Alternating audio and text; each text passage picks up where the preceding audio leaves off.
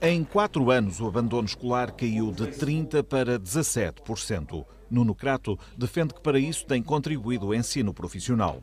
Estes anos, que foram anos de crise económica, como todos sabemos, foram anos em que prosseguiu e se acelerou a redução do abandono escolar. O facto de estarmos neste momento nos 17%, 17,4% salvo erro, nos 17% de abandono escolar, não nos orgulha, mas orgulha-nos o progresso feito. E o progresso feito significa que nós estamos no caminho para ser possível chegar àquilo que há alguns anos pensávamos ser impossível, que era, em 2020, ter uma taxa de abandono escolar da ordem dos 10%. Para chegar a estes números, é preciso apostar nos currículos e prestar atenção às necessidades do país e das empresas. Por isso mesmo, a Associação dos Professores Português pede um reforço do número de aulas da disciplina.